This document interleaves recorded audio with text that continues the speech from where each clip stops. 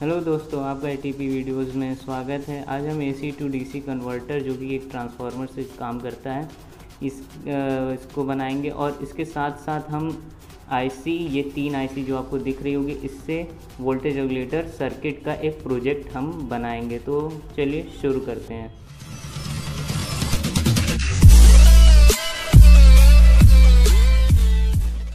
Required materials, green led diode, resistor pcb transformer 12 volt capacitors ic plyboard aluminium heat sinker screws wire and loop screw. Subscribe कीजिए हमारे ATP video channel को और दबाइए इस bell icon को ताकि आपको मिल सके हमारी लेटेस्ट वीडियो सबसे पहले।